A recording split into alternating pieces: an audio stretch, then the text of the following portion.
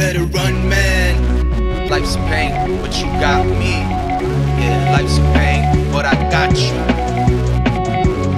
Hey, what's up, Parasites? Welcome back to another episode of the Venom Vlog. And this week, we're going to spend a couple episodes going through the latest Venom run from Al Ewing and Torunn Grønbekk, who uh, hopefully I'm pronouncing her name right, who came in and did some fill in writing on the issues that we're going to talk about today, where she sets up a new symbiote uh, bonding to Black Widow, and then tells a story that deals with Bren, who is the new toxin, and Dylan and Sleeper and Flash, and kind of Dylan building his army, getting ready for the big battle that is for sure to come in the uh, coming months, if not by the end of the year, for Venom and Venom Comics. So we're going to talk about these issues today. We got issues 23, 26, 27, and 28. And I know you're thinking, hey, wait, why are you going out of order? Well, we're just going to try to do this in a linear fashion.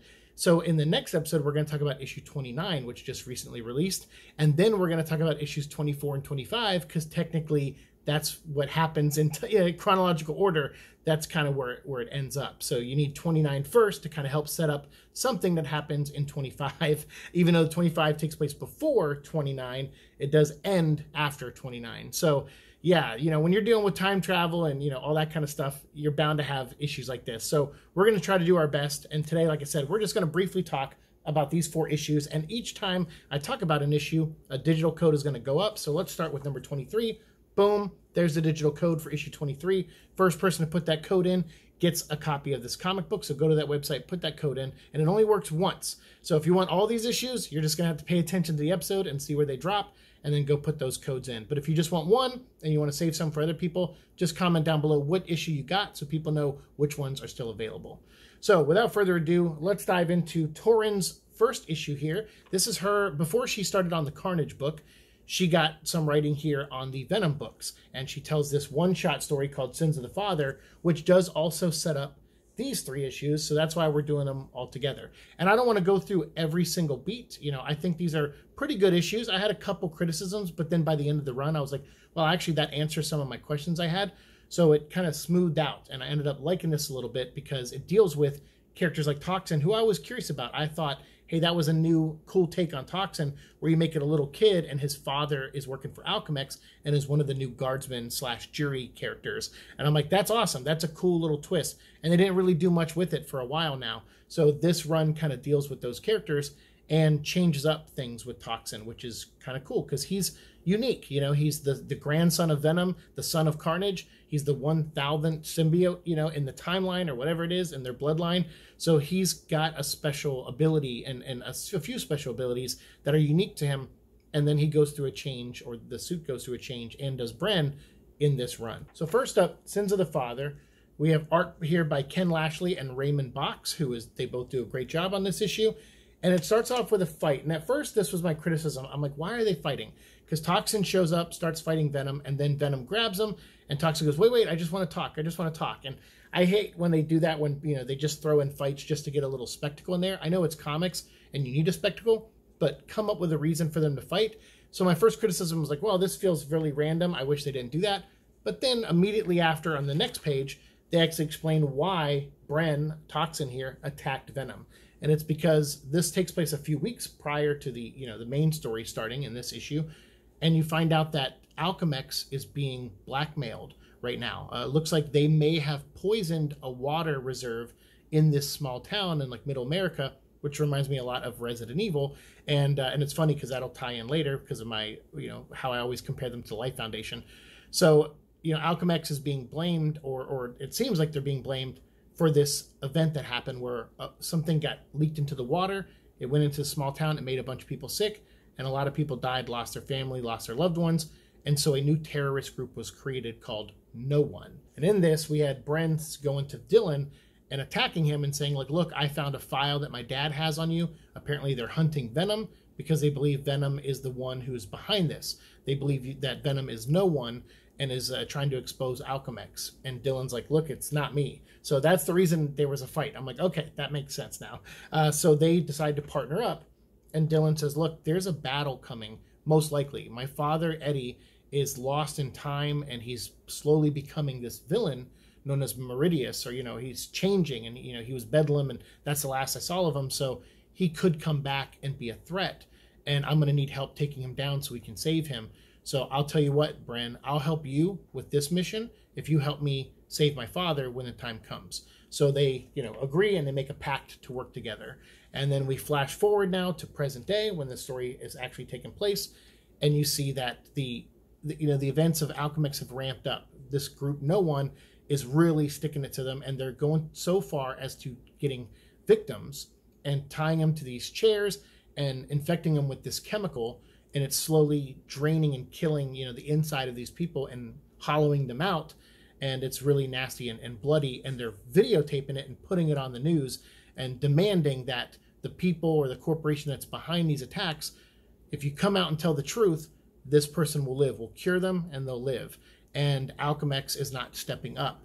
And people don't know in the public right now that it is alchemax that is supposed to step up because they're the ones being blackmailed with this. So alchemax knows and they're not really doing much to stop or save these people that are being broadcast, their deaths are being broadcast on TV. So it kind of doesn't paint Alchemax in a good light or Liz. And they, I think, conveniently remove Liz from this because I feel like if they actually had Liz in this story, you would see that she cares. You know, she wouldn't want, you know, her employees being killed like this. So I wish they had Normie and, you know, Liz as a part of this story, especially since it's, you know, Dylan building a symbiote army it would be neat to include them, and I'm sure they will include them at some point down the road. But it would have been neat to see Liz in this story. That's like my one major critique of it. But you know, page count wise, I can see that they had to cram a lot in. If they got one extra issue, I could see maybe them doing something like that. Uh, you know, Torunn doing that. But for me, I just would have liked that in there because it deals with Alchemax. So to me, it should have Liz Allen involved. Um, but it doesn't, and that's okay. So what happens though is we do have a mysterious woman who is going around trying to piece this story together and you find out that that mystery woman is actually Black Widow, and Natasha is on the case of who no one is, and it turns out it's an old acquaintance of hers uh, named Keith, and he is in charge or one of the main people of no one. And so as she confronts him, he tries to betray her, and she reveals something major, a change to her. But before we get there, I just want to go over the last of this issue here, this t- issue 23, where you find out, you know, Dylan and uh, and Bren are teaming up and they go in to try to save these people who have been kidnapped by no one. And you think no one is one guy at first. And you're like, okay, it's just like some guy who lost his kid. And you, you kind of empathize a little bit, but he's kidnapping people and killing them. So obviously he's taking things too far and he's punishing the wrong people in a way uh, for, you know, the sins of a corporation. And so he's kind of obviously lost it and, and gone too far. And they go to fight him and he puts up a big fight and ends up dropping a grenade and killing himself. And in that battle, though, Venom and Bren or Toxin, they see a bunch of kids and other people, innocent victims that were going to be put on the list of being killed and broadcast, and they see them and they're able to save them in time before the building explodes. So you do get some super heroics in here, which is really cool from Dylan and uh, Bren here, who both run out with these children and these people and save them. So yeah, really cool. I mean, I thought this was a neat issue, and it, like I said, it was cool to see Bren again. And even though I'm getting kind of tired of you know, every symbiote, major symbiote character seems to have a kid attached to them. Like Misery obviously is an exception, and Flash Thompson is an exception. But Venom, Red Goblin, and Toxin are all kids right now. So um, I'm waiting for that other shoe to drop and for like Kid Carnage to show up. But I guess that's what Red Goblin is. But we also found out in, a, in an issue that we're going to talk about coming up that uh, Rascal is a little bit more connected to Bedlam. Uh, but is also connected to Carnage still. So that original story that where they kind of set up where or where Rascal came from is still there, but they added another wrinkle to it, and we'll get to that very soon in the upcoming Venom issue. So at the end, you know, no one is dead. His grenade went off, but another person in the same costume as no one. It's like a gas mask and soldier outfit. He comes online and says, "All right, well, you killed one of us, but we are no one, and we are many, and we have another set of victims, and we're gonna, you know, slowly kill this person until this company that we want comes out and tells the truth." So the issue does end with them saving some people, but the overall threat is not resolved. And that's where these three issues come in. So, real briefly to go over these, you have Natasha, like I said, meeting with Keith. And the story is called State of Grace, and there's actually a meaning for that, which happens later, so I'll get to that. Um, but like I said, Natasha reveals a very new secret of hers. At the end of issue 23, when she shows up at the building that exploded, where Dylan and you know Toxin saved those people, there was a symbiote in there. And that symbiote now bonds with Natasha, and the two of them are working together to crack the case of who no one is and to try to save you know, Alchemax, uh, you know, since they're possibly being wrongly accused of what's actually happening. And Natasha knows more because she's a government agent, she's been a spy, she's worked for S.H.I.E.L.D., so she has access to more information. So she's getting to the bottom of things, and she's using her new symbiote friend to do so, who kills Keith, an acquaintance of Natasha's for the past like 10 or so years. And she kill, you know, the suit kills that character. And she even says, you know, you don't have to kill. And the suit's like, yeah, well, I'm still learning. And she's like, that's okay. You know, I, am I'm, I'm learning too. I've, I've never seen the appeal of symbiotes before, but now that uh, you know we're bonded and you, we can share these things, I'm starting to see like the tactical advantage of this. So Natasha's looking at this from a completely different standpoint, and it's kind of exposing new stories to tell with Natasha, which I'm for to an extent. You get to see a different side of her where she's a little bit more trusting. But then again, we've seen that side of her. Like she was maybe less trusting in the beginning, but for the past like 15, 20 years in comics, she's made friends, a lot more friends, and she's very more, you know, very trusting with her friends. So this to me feels like, oh, you're not really doing much new with Natasha, and that's why I'm kind of anti her getting a symbiote. Um, but she has one, and they do one of my favorite things that the symbiotes do, which is they transfer memories. So Keith's memories now go into Natasha's, you know, mind, and she's navigating them to see what she can learn about no one. And what's cool is there's a whole page where the you know Torunn explains that the symbiote is explaining to Natasha how this works, how she can decipher her memories from Keith's memories so they don't combine together, and how she can watch things like a movie and learn the details she needs to learn and rewind and look at things and zoom in. Like, so the suit is helping her uh, use this information. And I was like, okay, that's cool because I've always loved the memory transfer that symbiotes are able to do. And this brings it to a different level and exposes some more things or reveals some more things. And then you see someone using it for the first time and using it like a spy would, which is like, all right, let's see the evidence. And she pulls up these memories and she's, you know, looking at them and stuff and studying them like photographs in an interrogation. And I'm like, that's cool. I really I dig that a lot. So I thought Torunn really killed it there. And the artwork on this book you'll notice is different. It's because Julius Ohta is the artist on this issue. So the art does change up, but I like it. They're very clean lines. Um, and Julius does a really good job drawing symbiotes too. I really like how they draw Toxin because Toxin kind of has like that, you know, Blade Two thing where their mouth kind of opens up and this like sliver comes out and stuff. So it's it's really cool. I, I dig it. So um, now they're all in the hive. You know, Venom is being attacked. Alchemax is, you know, still thinking that he's involved somehow. So they swarm Dylan's apartment. They found out that you know Venom is Dylan currently, and that he's tied to Eddie Brock. He's Eddie Brock's son. So they all swarm Dylan's place, but he ends up, you know, fleeing. And while he's fleeing, he goes into the hive mind and talks to Toxin and also Widow, who shows up in her symbiote costume for the first time. And the three of them are talking and working on a plan. And Dylan's like, Yeah, you know what? I, I want to help Bren. You know, I made a deal with him. He's going to help me with my father. So I want to help him save his dad, who's in the thick of this with Alchemax, And we want to save these innocent people. So Dylan's all on board, teaming up with these two, but he is a little cautious of Widow, which I like because he's like, look, I don't know where this symbiote came from. She doesn't know where the symbiote came from. It, it says it's like a baby and it's like new and you know, so it could be an offspring of toxin or something that happened in the building before the explosion. We don't really know where the symbiote came from yet. I'm sure that will be revealed in time, but for now, Venom's a little weary of it, and he's kind of curious and and not trusting of this new symbiote. And he also doesn't know who Black Widow is. They never worked together really before, so that's another element where he's like, all right, I gotta warm up to this person. But she seems to want to help, and so for that reason, I'll I'll stick by her side, but I'm still gonna keep her in my periph. So uh, yeah, I get to see a little bit of a a non-trusting side of Dylan, which makes sense. You know, he's didn't have the best childhood, um, so I'm around adults, I'm sure he's kind of like weary. That's why he's befriended all these other symbiote kids so easily, but uh, with adults, he's very standoffish. And so I like that. It's very true to his character. So now Black Widow is able to use the symbiote and look like Keith and go in and get some more information on no one.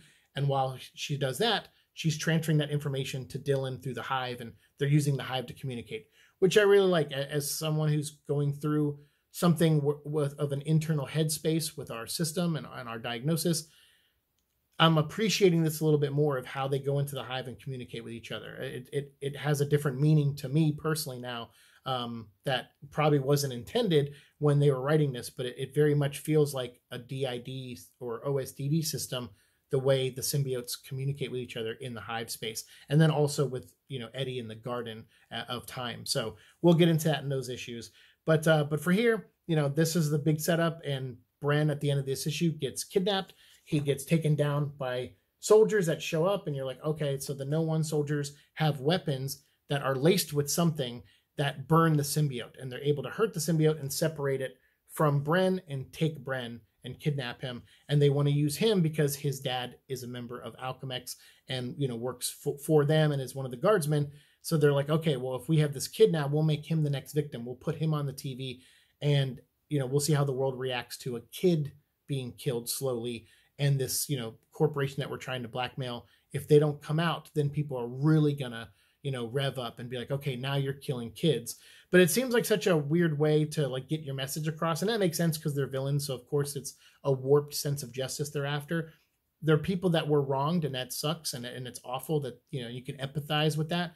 But the level they're going to and kidnapping innocent people and torturing them and injecting them with the same chemical that killed their families may seem like poetic justice to them but they have definitely gone way too far in their their want for vengeance or you know or, or payback and uh, and it's it gets really bad. And so now Bren is the next one on the chopping block who could die from this, and he's being broadcast on TV. So the clock is ticking. And Venom and Toxin, which is just the symbiote separated from Bren, obviously, because it was separated in that battle. The, the Toxin symbiote sunk into the sewers, and Venom found it along with Widow, and they gave it a new host, which they they bonded it to someone who works for uh, no one. But before they did that, they did this really cool thing where Venom, which I thought was very alien and cool, where and Torunn, if this was her idea, this was a really good idea, where they take the symbiote, like Venom sees the the remains of the the toxin symbiote, picks up a sliver of it and eats it, and then the sliver comes out bonded to Venom's tongue and talks to Venom, which I was like, oh, that's really creepy and cool. Actually, I thought that was really neat. And so they communicate, and that's when you know the suit says, "Look, they took Bren clock is ticking. We got to find Bren before he gets injected with stuff and before he dies. And so now that's what their plan is. So that's where 27 and 28, I'll kind of combine these real quick because I don't want to go too long and I don't want to go into too many details. But Bren's father, Oscar, he teams up with Venom, he teams up with Black Widow reluctantly and decides to help them find Bren. And along the way, they also find Sleeper and they recruit him into the mix. And they all go in to take down no one. And they find out that there's more to it. There's a bigger reveal. It wasn't actually just Alchemax that was responsible for this chemical leak. They actually stood up to try to get it to not happen. Like they were like, hey, look, we don't know this chemical. It's not from Earth. Uh, so that's a big clue there of what might happen in future comics with Venom. Um, and that's also the chemical that was in the water is the same thing laced on the weapons that were being used against Toxin and Venom that burned through the symbiotes. So again, a lot of reveals at the end of this, which I really liked. But bringing it back to Resident Evil, this small midwestern town got infected through the water system, much like in Resident Evil. And uh, and it was I always make the comparison that Life Foundation is like the Marvel Universe version of Umbrella Corporation from Resident Evil, and it turns out that's the case. Through different subsidiaries that Life Foundation owns, turns out they're the ones responsible for the chemical leak in this small town. And even though you know they found out when they found out the chemical was toxic, you know Carlton Drake and other people, they did stand up against this to an extent, but then they saw an opportunity to see what would happen and they they let the chemical outbreak happen and kill people. So it's really Carlton Drake and the Life Foundation who has to be exposed here. And obviously that character has been resurrected by Meridius and is it is part of the Alchemax storyline that we talked about recently with Misery and stuff. So I'm really curious how they're going to play that out. I mean, clearly there's a plan here for Life Foundation and I want to see where that goes. I'm actually really interested in that because as a Resident Evil fan, like I said, I compared them to the Umbrella Corporation, and this proves it even more. They literally did what Umbrella did. they infected a small Midwestern town through the water system uh, with a virus or you know something. But in Resident Evil, it's obviously a chemical thing, and in this, it's something from outer space that actually can hurt symbiotes, and probably something that Meridius brought to the table because he's secretly working with Carlton Drake. So yeah, I'm I'm curious where this is all going to go. Um, in the end, uh, you know, they do save Bren, but something happens to him. He has been infected by the chemical, so when the suit toxin suit leaves the soldier and rebonds with him, it does hurt the symbiote and it renders it silent. So now Bren is healed, but he can't hear toxin anymore. And like I said, the book is called State of Grace, and the reason for that is because you find out that the main villain or one of the main members of No One, his daughter who he lost, her name was Grace And so that's kind of how that all ties in. Because at first I was like, oh, what an interesting title for this three part story. And then when you get to that part at the end, I was like, oh, that's kind of neat. Like how he reveals that and says, like, yeah, this is all for her. So it's kind of named after this, you know, child who was uh, killed during these events with the the water and the you know and everything like that, the, chemical in the water, and it's all ties in that way. So I was like, oh, okay, so that's a kind of a neat title that you know Torunn put in there. Um, I don't know if that was her or editorial or whoever came up with that idea, but whoever did, I liked it. I don't know if it's a combination of both or all of them or whoever. Um, yeah, I was like, oh, cool. They that t- when he said her name, like, yeah, my daughter's name was Grace, and she's the one who passed, but and that made me a nobody because uh, you know I'm just a number to these corporations. You know, everyone we work for, everything. We're just a number to them. We're a, a, lawsuit number. We're just, you know, that's all we are. We're nobody. We don't have a name. We don't have an identity. They'll replace us. They don't care.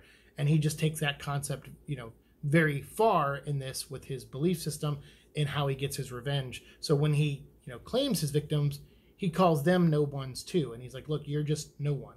You're, you know, you're no name. You're nobody. You're just like us. And that I think probably makes him feel better about sacrificing them because he's just like, yeah, you're no one, and all we're gonna do is once you're gone, someone's gonna feel this sadness, and then they're gonna just join our cause probably, and uh, it's really warped. And unfortunately, they that's how they do get some of their recruits. But yeah, I just thought it was really warped, and I just think that's neat how that title kind of wraps this whole story up, like Sins of the Father that issue 23 that title mattered to that issue because that's what it was about you know bren's father and everything like that and Alchemax and everything. Um, but then that also ties into the no one element because that no one he was a father. And so that that theme worked really there. So state of grace also works and how it ties into bren's story and this young lady grace who died and how her father is now knowing that the, go- the government and life foundation they're going to come clean up their mess. So he knew this was all going to blow up in their faces and that reveal was pretty shocking. Even to me i was reading i was like wow this guy knew. He knew this was all going to end badly for everybody but he still wanted he was hoping that not before the truth came out. And the truth does come out so in the end he kind of gets what he wants um, even though he dies in the end. So Venom and uh, Sleeper decide, okay, let's bring the you know Bren and Toxin now to Flash Thompson, and he can use his symbiote abilities to heal Bren. So that's where the book ends. We don't know really know what happens to Widow after this. Um, I know she's going to have her own series with Hawkeye coming up, so you can probably learn more there about what her costume is and you know maybe where it comes from and and all that. So if there's some cool information in that miniseries, We'll definitely cover it on the show as you know we cover symbiote things, but we'll wait till the trade comes out and see what happens. Um, but yeah, so we don't really know what happens with her at the moment, and we also know the truth does come out. You know, uh, Bren's dad, Oscar, he does decide to release the information publicly so that no more people will die, including his son. So he actually gets the truth out there, and I guess I don't know if that means the truth you know, exposing Alchemax, because obviously that's a problem for Liz Allen that they're going to have to deal with um, or if it actually exposes the government working with the Life Foundation, which is the truth. So um, I'm really curious. They say the truth gets out there, but I'm like, okay, well, what does that mean? And does that mean people aren't going to, you know, look at the Life Foundation the same anymore? Uh, technically, they're just now, re, you know, rebuilding after Carlton Drake's resurrection. So they're just now coming back as a company. So is this going to affect them? Are they going to really become the umbrella corporation where everyone turns on them and their stock prices go down like in Resident Evil 4? Um, you know, I don't know. We'll see. But I, I, was curious at the end when they said the truth got out there, and I'm like, okay, so what does that mean? But obviously, this is not a, a story that's over. So maybe we'll learn more of that either in the Carnage book by Torunn, um, or maybe we'll learn it more in the Venom series if she comes back and writes some of these Dylan Brock stories. So time will tell. But for now, I just wanted to hear your thoughts. You know, these are mine, and this is just kind of like I gave an overview and gave you some of my thoughts on each of those moments in the story. I ultimately kind of like this. Uh, I like the street level stuff. That's how, you know, that's how I prefer my Venom stories. And I'm not anti cosmic. And trust me, the next episode we're going to talk about some major cosmic stuff as as well as the episode after that. But um, but for this to have like these little street level stories in in between the big Eddie Brock space time travel stuff is nice. And I got to say on the credit to the editors, like you know Devin Lewis and everyone who's working on these books, I do like that. I like that there's a balance. I understand like it's probably hard to follow the Donny Cates run, and so you kind of want to figure where do we go from here. Well, okay, we want to go more cosmic because now Eddie's the King in Black. Okay, but we still need a street level element to this book. And for me, since the beginning, um, it has been the Dylan stuff I've liked the most. The Eddie stuffs, the recent things have kind of turned me, and and I've kind of liked a little bit more of the recent stuff, especially with Cafu's artwork. But for um, the street level stuff, I've always liked it since the book has started, and that's been the stuff that's pulled me in. And it's cool to see it continue here under a new writer who's just kind of jumping in with both feet, and I think doing a really good job. And with the artwork from Ken Lashley, uh, Ramon Bachs, uh, Julius Ohta, and Rafael P- uh, Pimentel, uh, awesome stuff. Like the artwork's really great. I really like Raphael's art on the last two issues because the last two issues had like really cool symbiote moments and battles, and Venom looks really killer in some of these shots. So yeah, really dig this. I mean, this was this was a fun little street level story with Venom, and we need those. And it was so cool to see Sleeper again. Out of all the newer symbiotes, Sleeper is definitely my favorite, the most unique, I feel. And I want to see more stuff with Sleeper. And it sounds like we're going to get it because a war is coming for sure, a symbiote war. And we're going to learn more about that in the next issue that we talk about, the next episode, and then the one after as we go through issue 29 of Venom and also issues 24 and 25. So make sure you stay subscribed so you don't miss out on those episodes because I want to hear your thoughts in those comments. Just like I want to hear your thoughts on this down in the comment section below, and we'll keep talking down there. So all those little spoilers and other things that I missed out on or skipped over on purpose, we can keep talking about those details down in the comments. Uh, so yeah, let me know your thoughts down there, and then let me know if you want any of the digital codes. We put up four in this episode, so that was quite a, a handful, and I think we have one or two that might go up in the next episode. But then, uh, or, or actually, no, in the third episode, uh, issues 24 and 25, I think those have digital codes. The next episode, there is no digital code. It's issue 29, and there was no uh, free digital code in there. There was. I tried to email but it's not here in time and I got to record that episode. So uh, I'll get that episode out to you guys immediately. Thanks so much for watching the show. As always, like, share, subscribe, all that fun stuff, and I'll see y'all in the future. Peace.